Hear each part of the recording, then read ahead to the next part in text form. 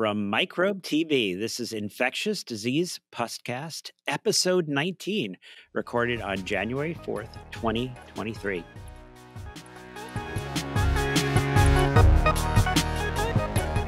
I'm Daniel Griffin, and joining me today is the famous Sara Dong. Hi, everyone. I'm Sara. Welcome to another Puscast. References, as always, are available in our show notes at microbe.tv, the home of our growing multimedia empire. Puscast is a review of the infectious disease literature for the last two weeks that we found interesting or entertaining. So, on to the literature, shall we? All right, I guess the first one is mine. So, we're going to start with our viral. And remember to listen to This Week in Virology clinical updates for timely viral related information, um, but also the other uh, deep dive TWIVs. But I will start off with what I think is a really great and uh, timely article burden of post infectious symptoms after acute dengue, Vietnam, published in Emerging Infectious Diseases. Um, was, was everyone thinking I was going to say COVID? While the symptoms of acute dengue are generally understood to resolve after one to two weeks, the potential for persistent or delayed symptoms has received increasing attention in recent years. Wonder why in addition to a nice review of some literature such as the Cuba study and a study out of Singapore, here the authors assess predominantly pediatric patients in Vietnam with dengue and other febrile illness three months after acute illness. Among dengue patients, 47% reported one or more post acute symptoms, most resolved by three months, but alopecia, right? That's your hair falling out, and vision problems often persisted. Um, now, I used to have a full head of hair myself, and now after having dengue infections, with the second resulting in hospitalization, my barber suggests I may be getting a little thin on top. Coincidence? Remember, these are children with alopecia, so this could be devastating, as we see with PASC alopecia over the last few years. Mm-hmm. Um, and then I picked a viral paper f- uh, from OFID, Maribavir for CMV treatment in the real world, not a silver bullet. Uh, so this is actually a pretty quick read, but they talk a little bit about two transplant recipients who had breakthrough CMV infection while receiving Maribavir, which is one of the newer CMV drugs. And so, just as a quick overview, the first patient was a lung transplant recipient who was a high risk CMV serostatus going into their transplant and ultimately developed maribavir resistant CMV um, and was later found to have a specific UL97 H411Y mutation um, and was treated with foscarnet and ultimately transitioned to letermovir. And then the second patient was a 37 year old with a history of HIV and primary HLH who underwent a haploidentical stem cell transplant um, that was later complicated by CMV DNA And, you know, there's, it's really just these two cases, but I think it is helpful to hear about relapse and breakthrough infection and development of resistance with this newer drug because most of what we know are from the clinical trial. And uh, this topic actually came up clinically for me. So it was a, kind of overlapped with something that I had questions about. But I think, you know, we're still learning more about what do we do for management in these sort of complicated CMV infections for transplant patients. Okay. And moving on to bacterial, be sure to listen to This Week in Microbiology. Um, I, I like this article so much, I almost put it in twice. so the article A 24 week all oral regimen for rifampin resistant tuberculosis, published in the New England Journal of Medicine.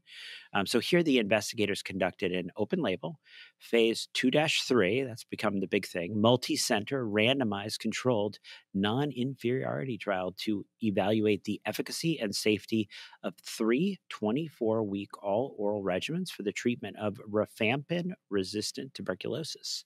So, patients in Belarus, South Africa, and Uzbekistan who were 15 years of age or older and had rifampin resistant pulmonary tuberculosis were enrolled.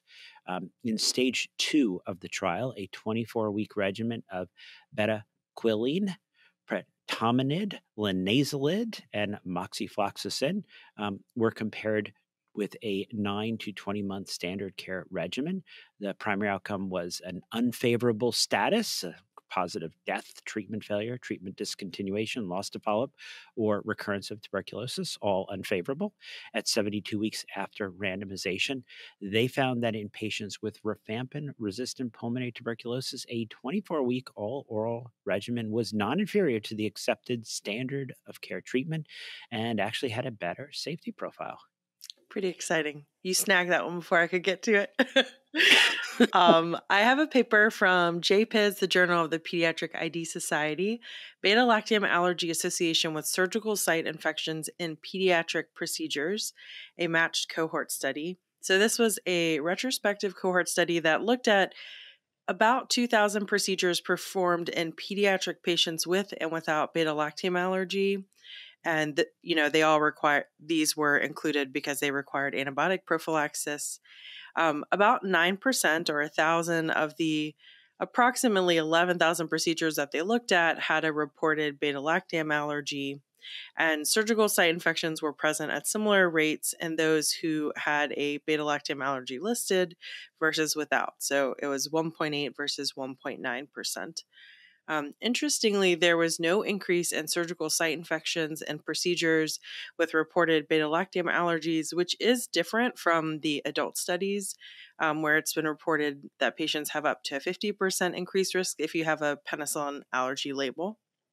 So I think that, um, you know, it's kind of interesting that it's different, but I also wonder, you know, a lot of these patients in the study actually ended up still getting beta lactam antibiotics for prophylaxis, even with their um, sort of listed allergies. So maybe that's why there wasn't as much of a increased risk, but um, kind of a cool study and specifically looking at pediatric patients, which was nice. All right. The article, The Effect of Macrolides on Mortality in Bacteremic Pneumococcal Pneumonia, a retrospective nationwide cohort study, Israel, 2009 through 2017, was published in CID. Now, I mean, actually, just sort of spoiler alert, I was surprised by this outcome, right? I thought I thought I sort of knew, you know, what this would lead to. So, um, you know, this goes along with the lines of, of science will surprise you and break your heart. Here, the investigators are looking at a historical cohort of over 2,000 patients identified with pneumococcal pneumonia with bacteremia and report that receiving macrolide therapy with azithromycin or roxy roxithromycin was associated with an increased risk of survival. So, decreased odds for mortality by 45%. Um, this effect was not seen for co administration of quinolones. And the authors suggest that um, there's some sort of anti inflammatory magical effect of the macrolides, such as inhibition of pneumolysin, rather than their antibacterial properties, an effect not shared with quinolones. Um, I do know some of our colleagues are working on modifying macrolides and other antibiotics to remove the antimicrobial properties and just retain the immune modulating properties. So that would be ideal for clarifying the mechanism, also for using it in this role without driving any um, antimicrobial resistance problems. Um, I also would love a prospective trial, right? This is retrospective, because I wonder if perhaps this is just a marker for people following guidance on pneumonia treatment. Um, why were those other folks not getting macrolides when that's in the guidelines? Um, I will say, in my many years of training and practice, I, I've only met one provider who did not start with atypical coverage with macrolides or a quinolone, and that was an older infectious disease physician who uh, told me that we did not have Legionella in the tri-state area, and thus he did not test for it or treat for it. Um, my next paper is from JAMA Network Open, Association of Linezolid with Risk of Serotonin Syndrome in Patients Receiving Antidepressants. And yes, we have covered this topic on prior episodes, uh, but I'm pretty pro linezolid and I like to include these. So, this is another look at the incidence of serotonin syndrome in patients who specifically are receiving oral linezolid with antidepressants. So it's population based retrospective cohort study. So they looked at database info from outpatients aged 65 years or older in Ontario. Um, and then found those who were prescribed oral linezolid and had follow up for at least a month.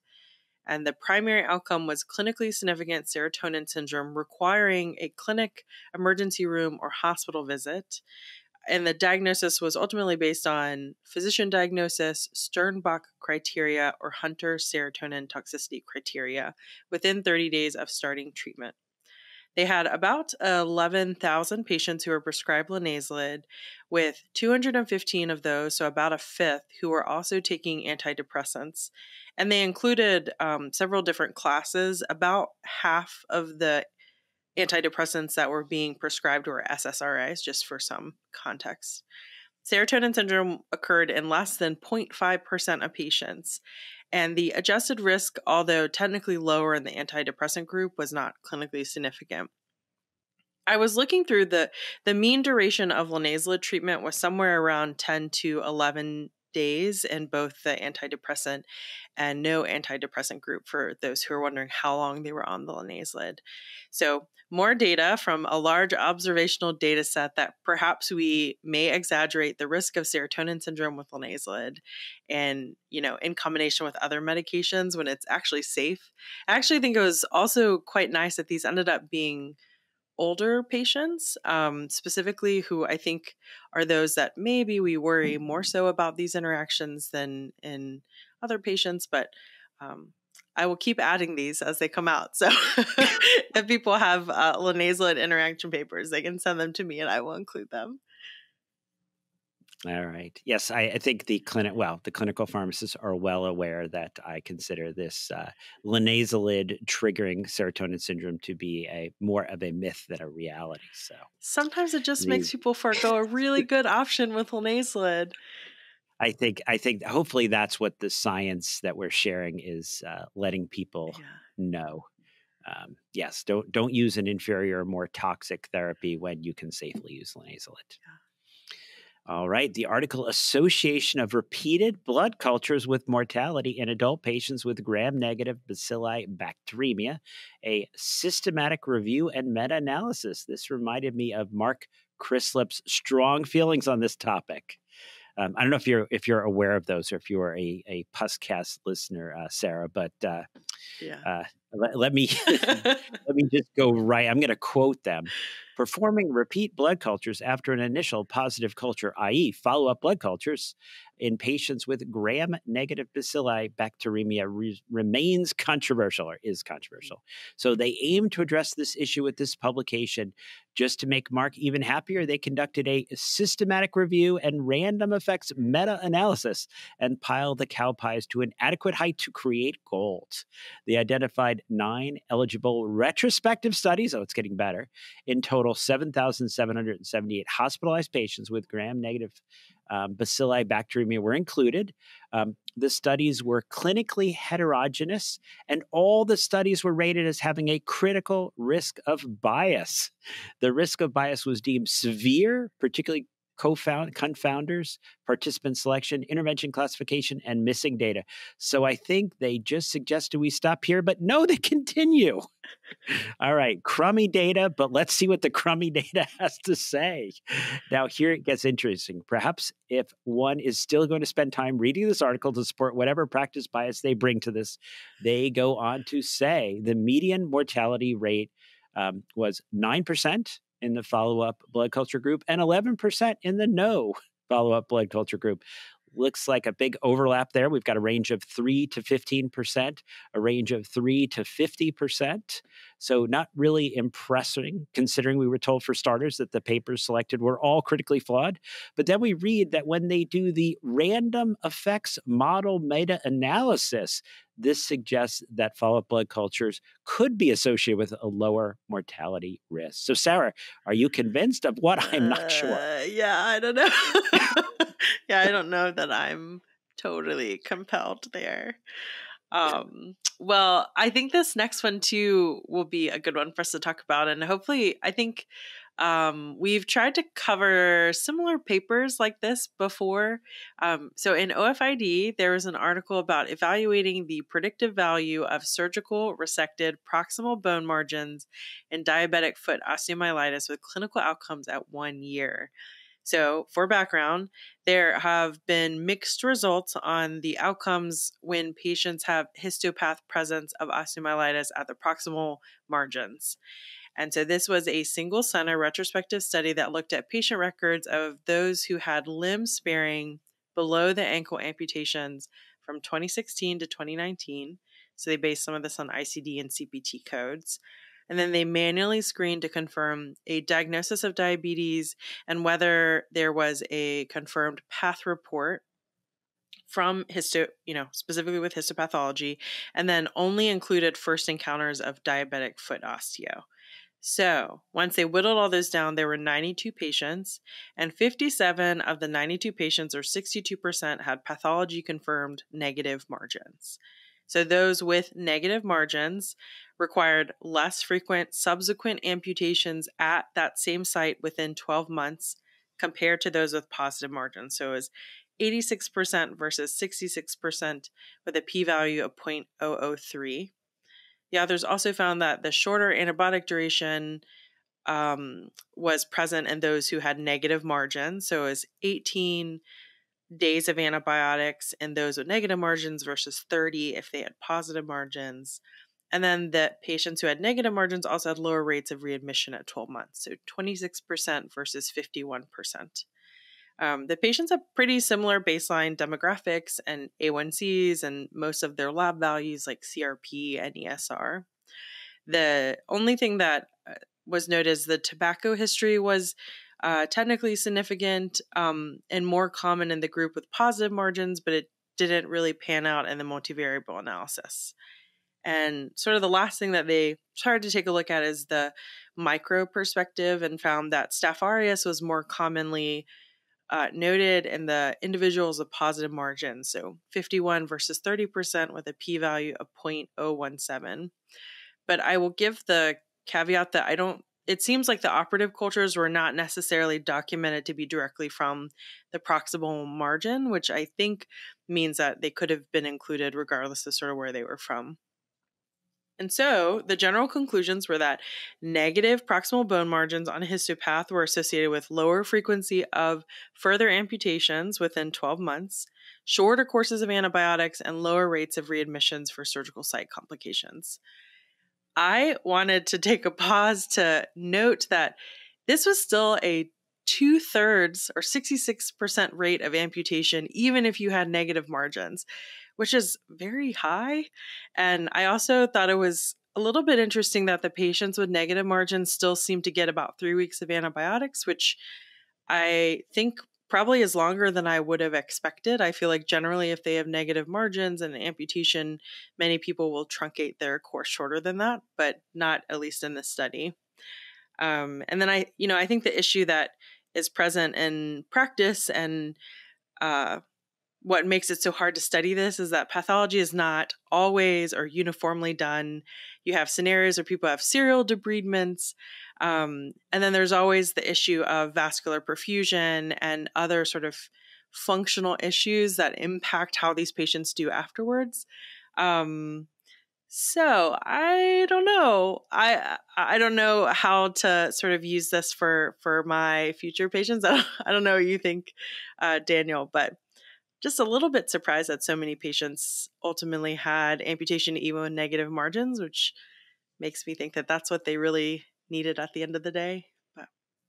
Yeah, no, I I was um, you know the the more I learn about um, osteomyelitis and amputations and how to deal with margins and how to deal with the cultures, um, the the less confident I am that we really understand what yeah. is pretty significant um, part of the practice of an infectious disease physician. So, I mean, a couple things. One is, yeah, I was shocked, right? Negative margins, the majority of people are still coming back to get more chopped off within a year. Mm-hmm.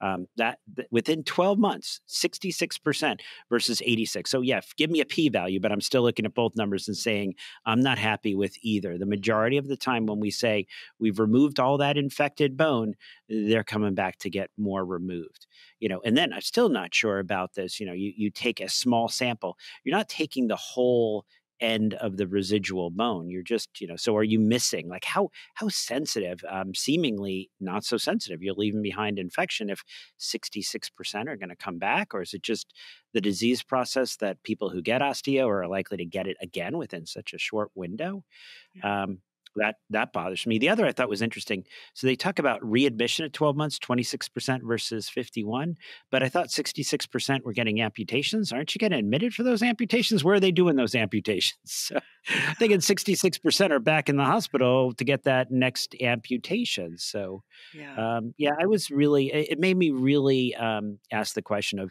you know, what is the appropriate standard of care for um, for diabetic foot osteomyelitis? What should we be doing? 66%, 86%. These are horrible outcomes. Should everybody be getting long term? Um, should we be doing more aggressive um, amputations? So I really feel like this is a, a huge area where we need more data and practice improvement. Yeah, I need to read more about how people have looked at sort of com- comparing patients that had their amputations deferred because i feel like that's often what happens is you're following along with a patient and you sort of think you're in an okay place and you revisit it and revisit it and ultimately get the amputation and then they i feel like a lot of times the patients feel so much better and then in retrospect they're like oh maybe we should have just done it when we first had the conversation. Um, yeah i don't know what the right thing to do is. It always feels so case by case basis instead of um, having a better uh, like formal sort of pathway for what you can apply to mo- majority of people yeah, I'm also I'm also not sure I fully understand. Like, okay, acute osteomyelitis, residual in the margin. Okay, we know what to do there, maybe. Um, but chronic osteomyelitis, because we see those people come back with recurrence and mm-hmm. more amputations. And so, what's you know, yeah, I we need to know more. so, yeah. all right, now this this week I wore my fungal bow tie for those of you Very nice. on YouTube. This is my hair. And you can flip it over. This side it's bright and red. The other side's mostly wow. green. So yeah, I wear it twice in the same week if I travel. Uh, but moving into the fungal section. Uh, the article Burden of Serious Fungal Infections in India was published in Open Forum Infectious Disease. Uh, here, the authors conducted a systematic review of the literature on the PubMed. I like they call it the PubMed, on the Embase and Web of Science databases. Their searches yielded 2,900 papers, and then 434 papers with incidence, prevalence, proportion data were ultimately analyzed. A- analyzed. A Herculean task, or here should I say a task worthy of Bhima of the Pandavas. Based on this analysis, they suggest that an estimated 57,251,328 of the over 1 billion people in India, so about 4%, uh, suffer from a serious fungal disease. It's 1 in 25. That seems a little high. Um, the prevalence in millions of recurrent vulvovaginal candidiasis, uh, they have it 24.3 million. Allergic bronchopulmonary aspergillosis, 2 million. Tinea capitis, 25 million in school age children. Severe asthma with fungal sensitization, over a million. Chronic pulmonary asper- aspergillosis, 1.74 million. Chronic fungal rhinosinusitis, 1.52. The annual incidence rates of pneumocystis is over 58,000, invasive aspergillosis, quarter million, mucormycosis, 195,000, esophageal candidiasis and HIV, over a quarter million, candidemia, almost 200,000, fungal keratitis, over a million, cryptococcal meningitis, 11,500. Um, there also were cases of histo, talaromycosis, mycetoma and chromoblastomycosis, but less frequently. So, um, as disturbing as the the implication in the article is itself, it's very interesting, and I'll share just a few things that I, I learned. Um, Hindu scripture written between 1500 and 500 before the Common Era mentions mycetoma or pada valmikam or anthill foot in the Indian population, and little bit of trivia for I don't know when this will come up, but the first case of histoplasmosis was reported in Calcutta in 1954. Um, they also mention the COVID 19 association with mucormycosis in the context of prolonged high dose steroids and unnecessary antibiotics. All right. Parasitic, be sure to listen to This Week in Parasitism. Um, and we have an article that I don't know, is it about ectoparasites or bacteria? bacteria? The article Bartonella Quintana, transmitted by head lice, an outbreak of trench fever in Senegal, was published in CID. Well, it's in this section, so we must be ectoparasites. Now, louse borne trench fever caused by Bartonella quintana is a neglected public health concern known to be transmitted from body louse feces via scratching. No viable B. quintana has ever been isolated from head lice before today. In Senegal, they used cultures as well as molecular and genomic approaches to document an outbreak of tr- trench fever or quintana, the five day recurrent fever, associated with head lice in the village of Ndiop. Head lice and blood samples were collected from febrile patients between November 2010 April 2015. A total of over 2,000 blood samples were collected during the period. Um, from 2010 to 2013, B. quintana DNA was detected by PCR in 0.25%. In 2014, uh, 228 blood samples were collected, um, along with 161 head lice from five individuals.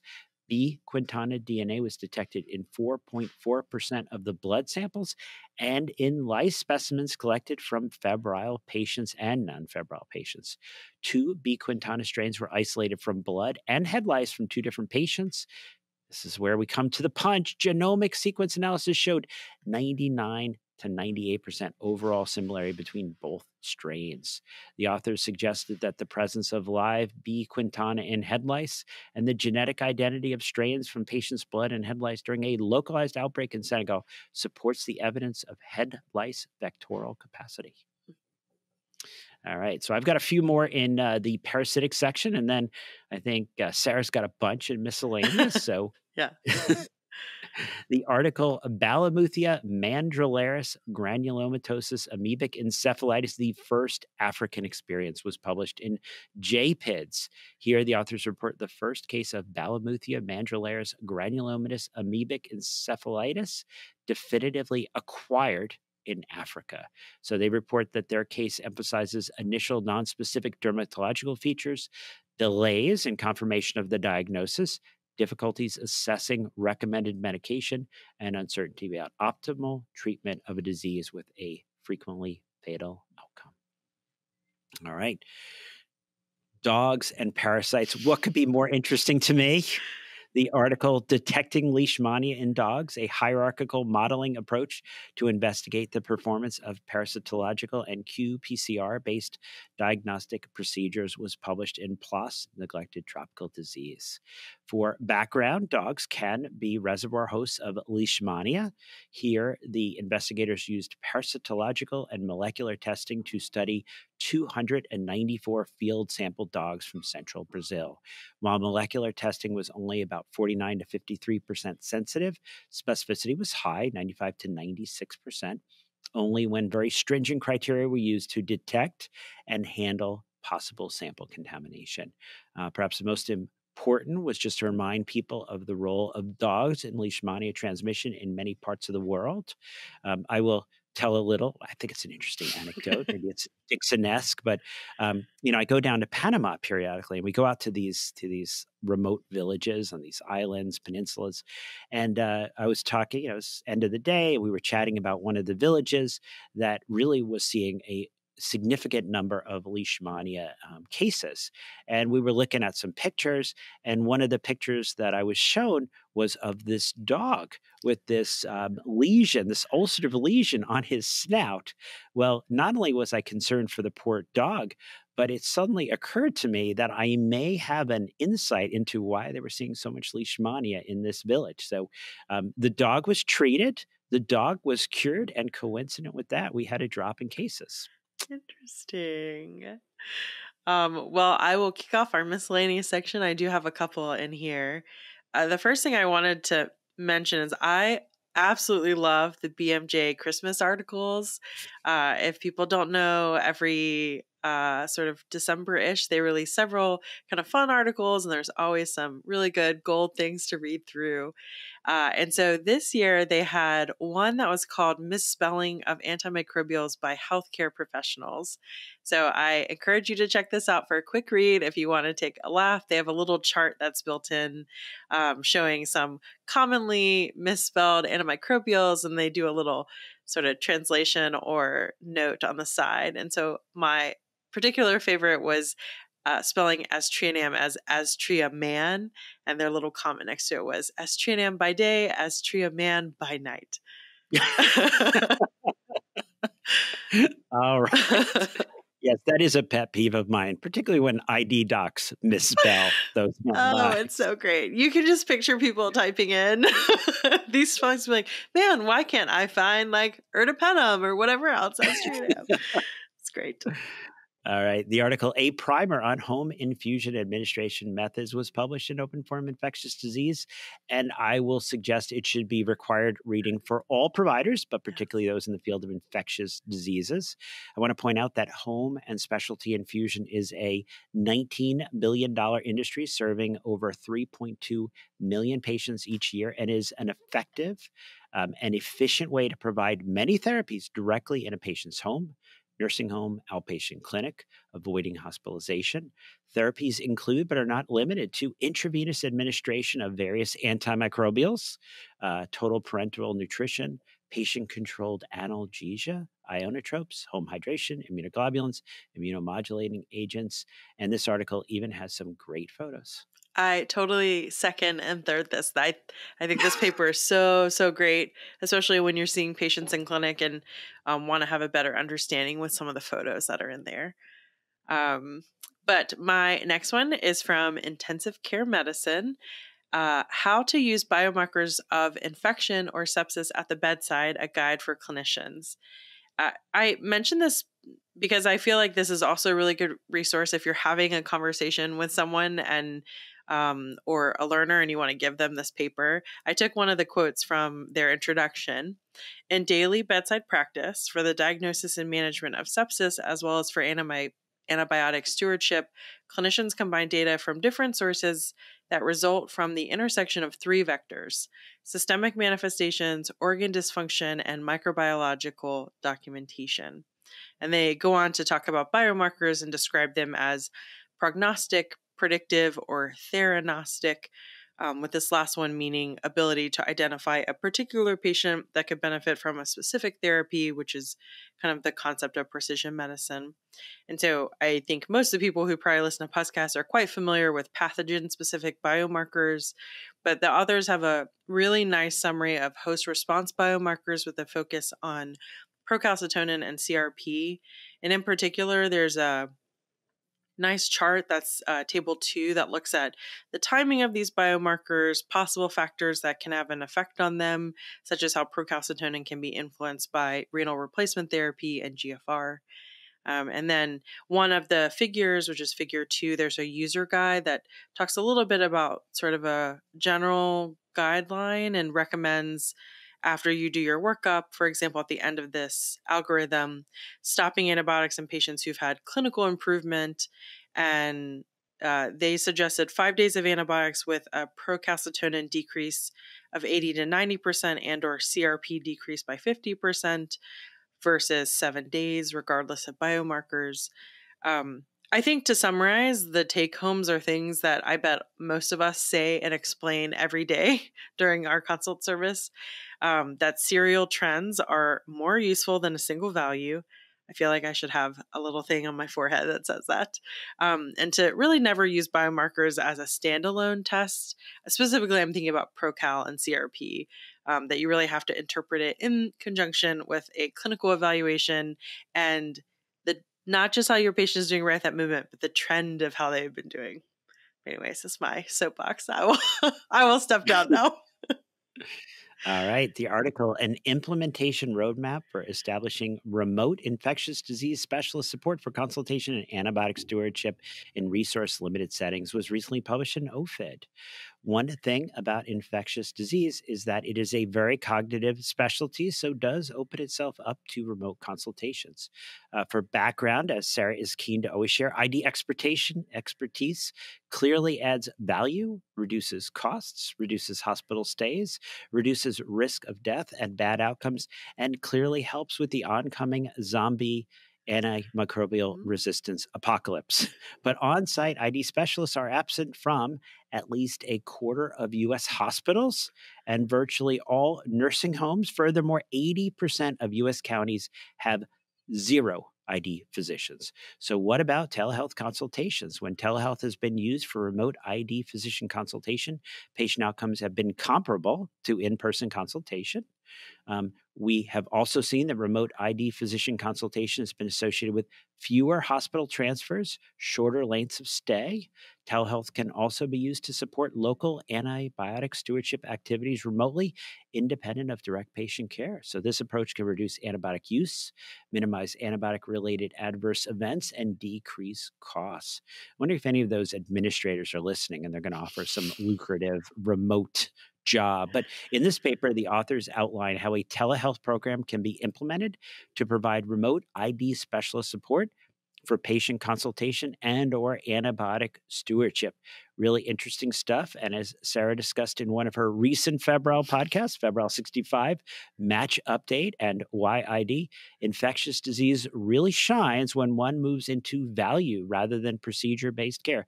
Ultimately i anticipate market forces making infectious disease a specialty in demand as the focus is on better outcomes and not just doing stuff. Love it. Um, well, I will change gears a little bit. Uh, I did pull another paper. This one is also from OFID. It's entitled Perceptions and Reality of Antimicrobial Prescribing During the Transition to Comfort Measures Only uh, we call it CMO, at an academic medical center. And so this article used a multidisciplinary survey that focused on antibiotic prescribing during this transition, as well as uh, coupled this with a retrospective chart review to examine those who received antimicrobials in the 48 hours um, prior to transitioning to CMO. And so in the survey, they found that 40%, give or take, of respondents indicated that they sometimes or often continue antibiotics during the transition, citing typically patient and or family preference and symptom palliation as common factors. And uh, I will just also pull out a note that of about 550 charts that were reviewed, were reviewed, about a quarter of the patients were alive at 48 hours after the CMO order, and about 14% of those remained on antibiotics. So I think this is a very relevant topic that certainly comes up clinically. And I think digging into that desire to palliate symptoms in this setting is very interesting. You know, what is the true risk benefit of antibiotics at the end of life?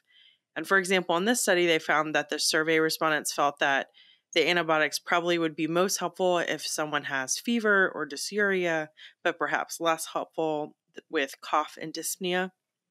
So there's not much evidence that the approach of continuing antibiotics for symptom relief actually helps. Um, but I think it's probably driven by a combination of sort of heterogeneous patients that have been looked at at the end of life and the fact that it may just be really difficult to tell if they have a bacterial infection and there's so many factors that go into it but at least the survey and chart review gives some insight into what people were thinking.